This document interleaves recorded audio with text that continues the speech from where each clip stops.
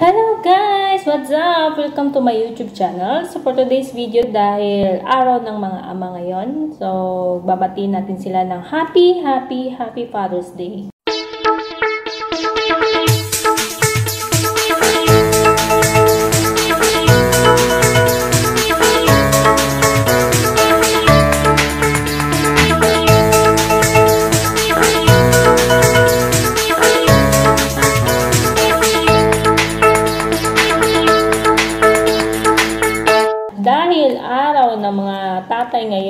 Ngayon, ipapakila, ipapakilala ko sa inyo ang aking responsable at napakabait at napakasipag na ama, si Joel Dumopoy. So, masipag po talaga yan guys. So, hindi rin ata kami nakapagtapos ng pag-aaral kung hindi rin masipag yung tatay namin. So, naalala ko din yung ano, yung mga yung mga sinasabi sa amin ng tatay namin na uh, wag makalimot sa taas lagi kahit ano man yung mangyari sa iyo, masama man or masalimuot man yan or tagumpay, dapat nakaalala lagi sa taas. Yun. Wag wag makalimot magdasal. Then yung turo din sa amin ng tatay namin yung halimbawa yung mga pera wag na wag mo yan kukunin. Yung mga halimbawa wag magnakaw kasi yung sabi nga niya, kapag halimbawa na nagnakaw ka, kahit piso man yan, or magkano man yan, yung, yung balik mo, o yung supli mo sa ninakaw mo na yan, doble-doble o triple pa daw yung kukunin sa'yo. So, yun yung mga pangaral ng tatay namin. Ah, ito pa um, turo din sa amin ng tatay namin na wag ano, wag ano, wag kumingkim ng galit sa kapwa. Kapag halimbawa yung yung kapwa mo yung nakagawa ng hindi maganda sa iyo, wag mong kimkimin. Kumbaga, ipasa Diyos mo na lang. Kasi sabi nga niya, hindi ka magiging matagumpay kung may kinikimkim kang galit at hinanakit sa iyong kapwa. So, sabi niya, alisin mo yan kasi parang nakakasagabal daw yan sa ano mo, sa pag-angat mo, yung mga ganyan. Parang hindi ka, atay, ay, yung sabi niya, hindi ka siswertihin, yung mga ganyan. So, yun yung mga pangaral ng tatay namin. So, yun yung guys. Yun yung tatlong pangaral niya sa amin. Una, yung hindi makalimot sa taas, kahit anumang mangyari. Pangalawa, yung hindi magnakaw kasi yun nga, kahit piso man yung ninakaw mo, sobra-sobra pa yung ibabalik mo niyan sa huli. Yung hindi lang piso, yung i, i ano doon, yung kukunin sa'yo. Malay mo, mas sigit pa doon yung mga ganun. Kaya wag na wag kang magnakaw kahit kahit sa kaunting halaga lang yan. Kaya wag na wag kang magnakaw. Then, yung pangatlo, yung wag magkimkim Huwag mong kimkimin yung galit at hinanakit mo sa iyong kapwa. Yung kumbaga, kumbaga i-ano mo, i, palayain mo. Kumbaga alisin mo kasi nakakasagabal daw yan sa pag-angat mo, yung mga ganun. So yun yung mga naalala ko sa mga pangaral ng tatay namin. So yun yun guys. So sa hindi pa nakabati dyan, bumati na kayo hanggat kahit hindi naman dapat Father's Day uh, magpasalamat kayo, mag-sorry kayo, or bigyan nyo ng, ano, bigyan, ng, bigyan nyo ng pagpapalaga yung mga tatay niyo. Kasi syempre, di ba, wala ka sa mundong ginagalawan mo ngayon kung wala din sa mga magulang mo. So, ngayon pa lang, huwag mo na antayin yung Father's Day. Uh, maghingi ng sorry, mag-thank you, at bigyan ng halaga yung mga magulang natin. Kasi, wala ka sa kinalalagyan mo ngayon o wala ka sa kung ano ka ngayon kung wala sa mga magulang mo. So, yun guys. So, sa tatay namin, tay, happy happy Father's Day. Uh, mag-ingat ka dyan lagi. Mahal na mahal ka namin. At lahat ng mga pangalan mo, syempre, hindi namin yan makakalimutan. So, yun. At dahil nga Father's Day ngayon guys, may gusto din bumati. So, sino kaya? Mga ikanyans, pasok!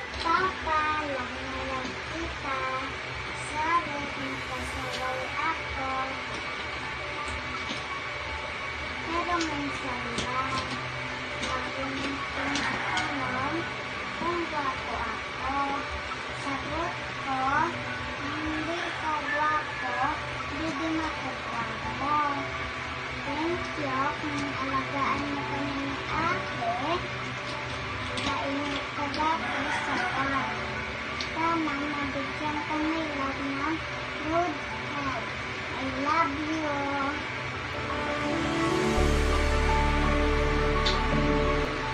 Ako rin, may sabihin din ako. Hindi mo naman kailangan sabihin yan eh. Alam ko naman na love niyo ako eh. Simula nung dumating kayo ni ate, saka si mama, sa buhay ni papa, ako na yung pinakamaligaya sa mundo. Saka lagi naman akong happy kasi andyan kayo eh. Pero nga,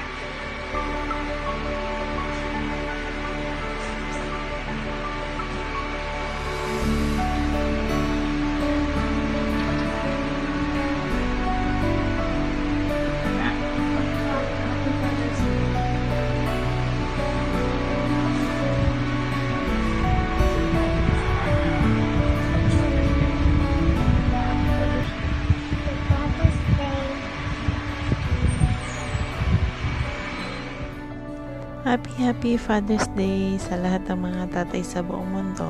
Siyempre, Happy Father's Day din sa aking tatay na si Tatay Ronnie.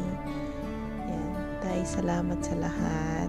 Ah, kabay hay tawan pa ikaw ni Lord it magawig nga kabuhi para ah, maging makibahan ka namon sa mabuhay pa nga panahon. Ayan. Ah, salamat sa lahat ng mga pagmamahal na binigay mo sa amin, pagsasakripisyo. Yan. Happy Father's Day, Tatay Ronnie. Happy Father's Day din sa aking father-in-law, si Tatay Joel Dumupoy. Ayan. Happy Father's Day, Tatay. Salamat sa mga pag-aalaga mo dyan sa mga apo mo. At napakabait na klaseng ah, father-in-law. Alam mo yung ah, napaka ah, mapagmahal na lolo sa mga apo. Ayan. Isusubon niya na lang. Susubo pa niya sa apo niya. Ganon yung lolo.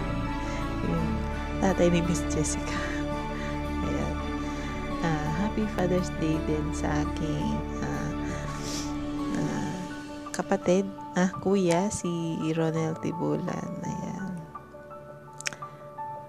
Happy Father's Day din nga pala sa aking butihing asawa ni si Jorin Dumupoy. Ayan. Alam ko, sobrang tiis mo na yun sa mga anak natin. Sobrang kulit nila daw. Ayan, nila. Ayan. Konting tiis lang pa. Ayan. Salamat sa lahat ng pagmamahal. At kahit asat pusa man tayong dalawa, syempre, alam mo naman yun na mahal na mahal kita. Ayan. Yay! Happy Father's Day sa inyong lahat. Happy Father's Day, Papa. I love you. Ingat ka po palagi dyan sa work. Salamat po sa lahat ng ginagawa niyo po sa amin. Sorry po kung pasaway po kami.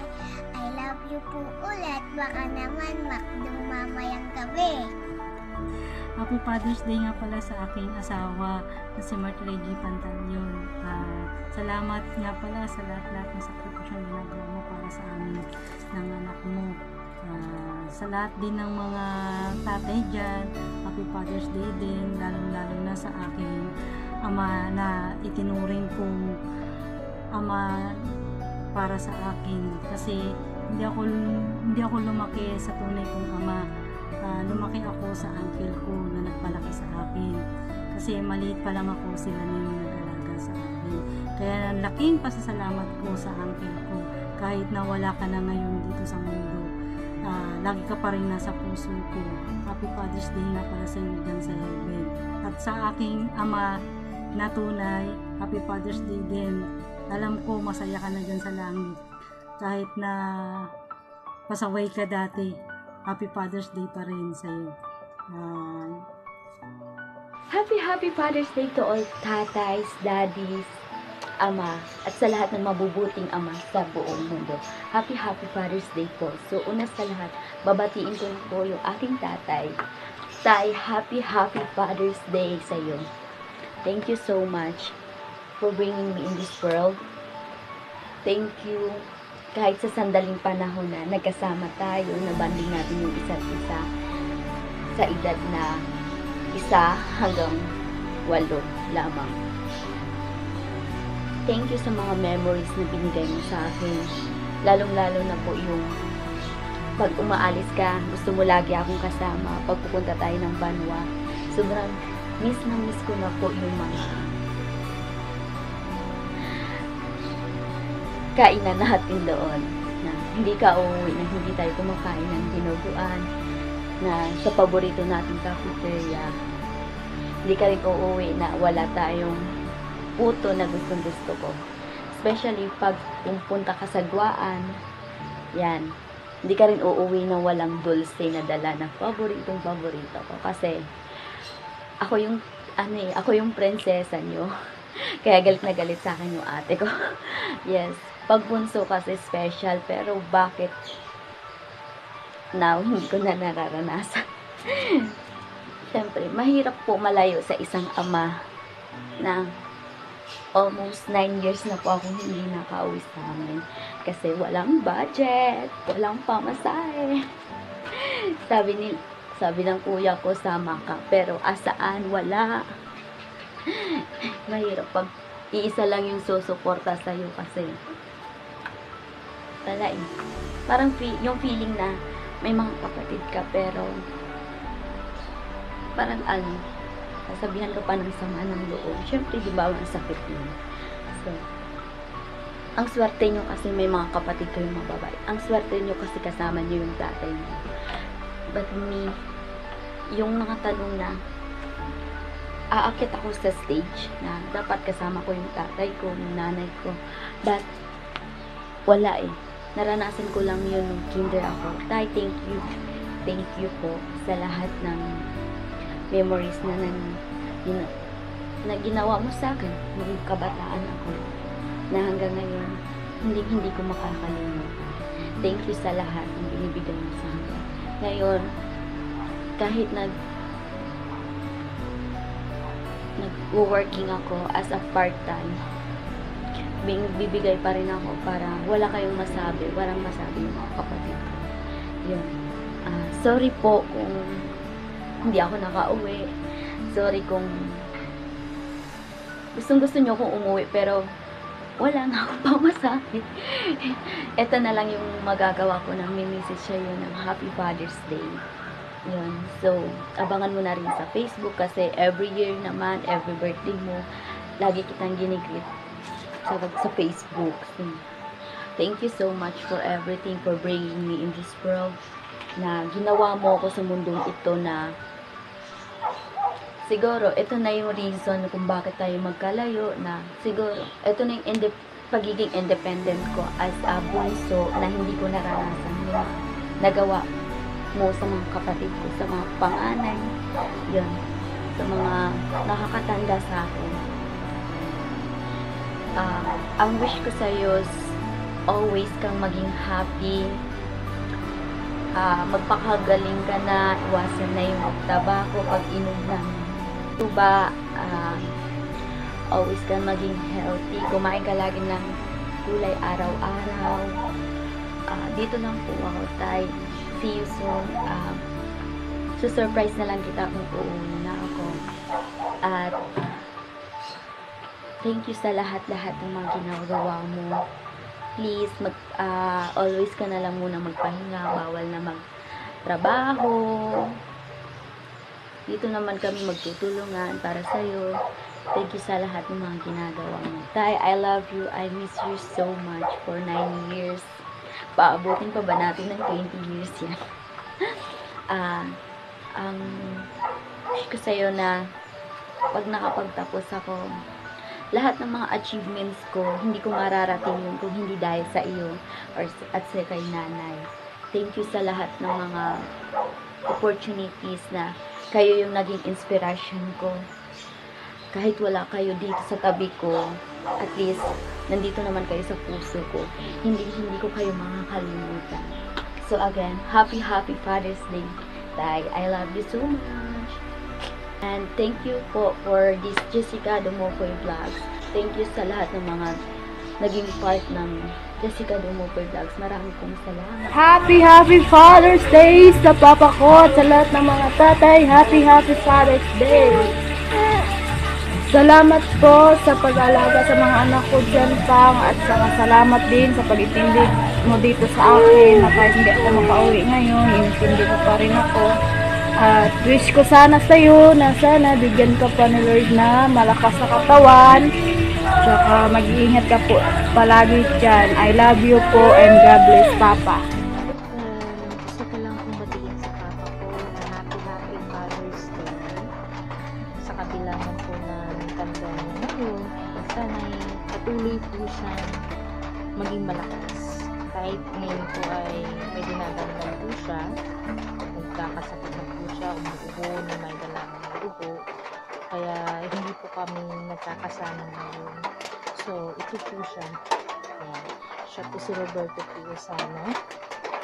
54 years old.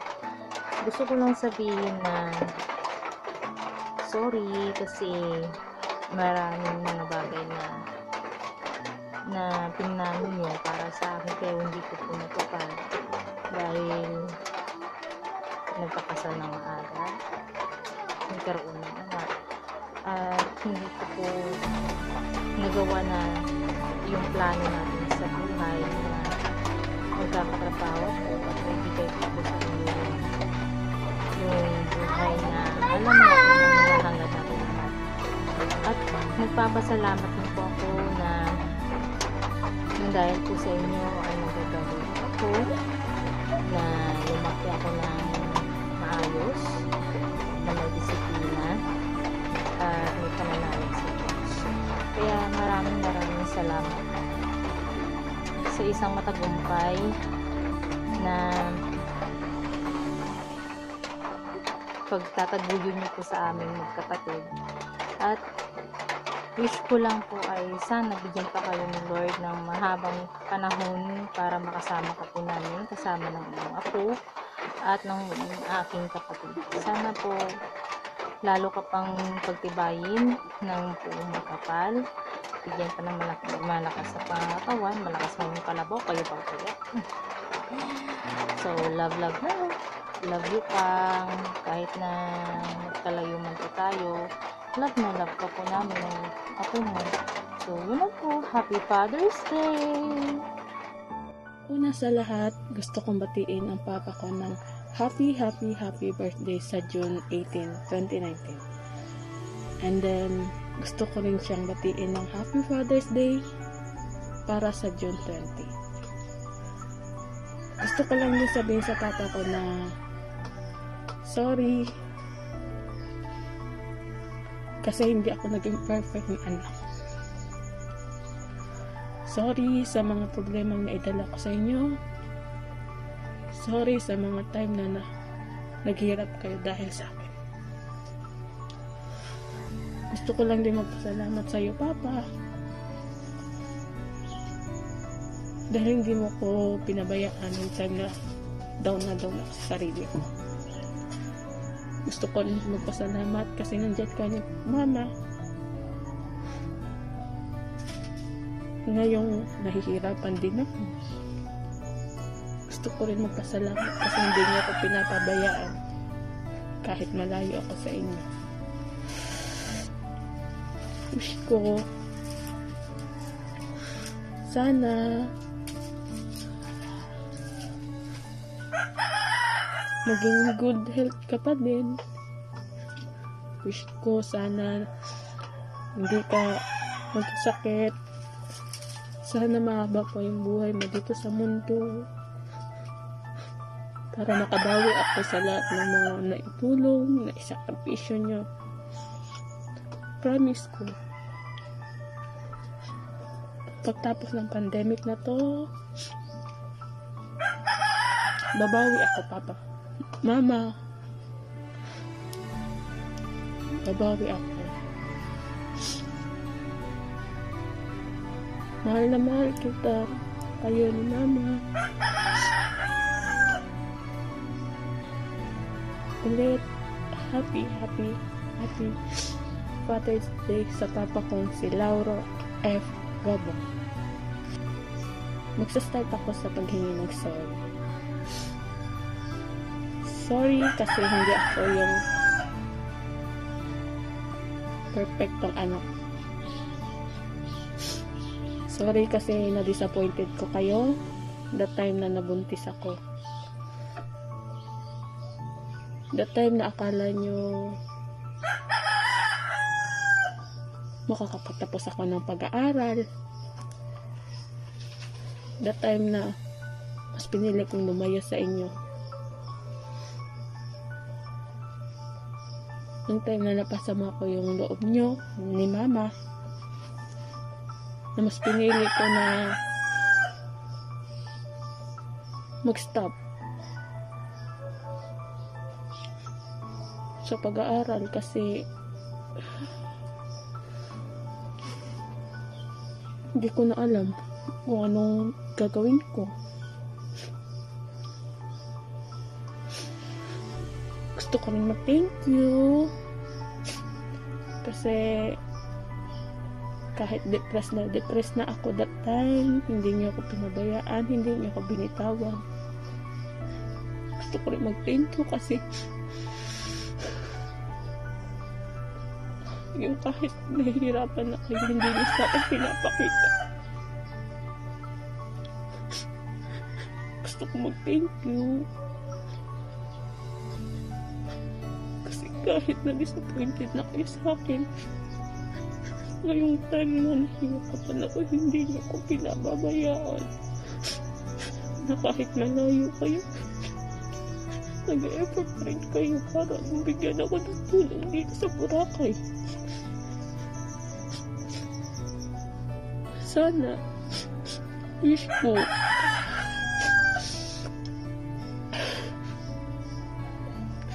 good health, Papa, tsaka kay Mama.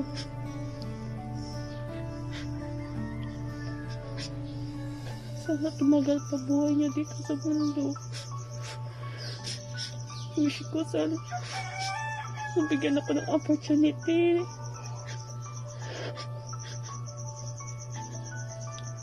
para makabawi sa inyo sa lahat ng tulong niyo.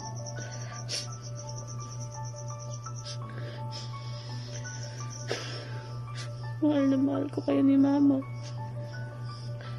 Kayo ng pamilya ko. Mga kapatid ko. Uulitin ko. Happy, happy, happy Father's Day pa. Miss na miss na Miss na miss ko na kayo ni Mama.